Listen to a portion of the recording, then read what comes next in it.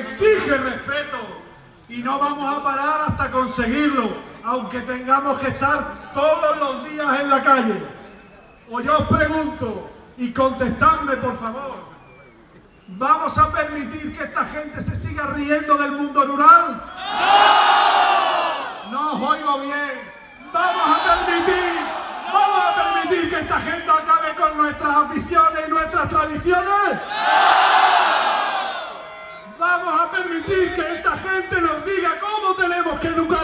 hijos?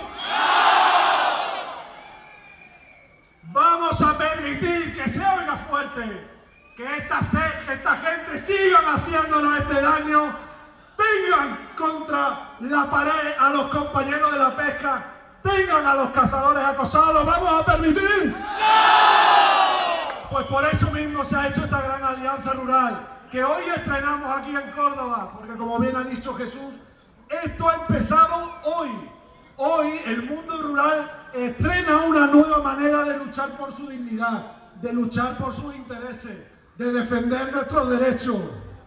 Por eso, como punto final, para que quede claro ese compromiso de lucha de los que estamos aquí, de los que se han quedado en casa con las ganas de estar aquí y por diversas razones no han podido venir, para que quede claro nuestro deseo de pelear por todo lo que nos gusta, que se oiga alto y claro en Córdoba lo que queremos.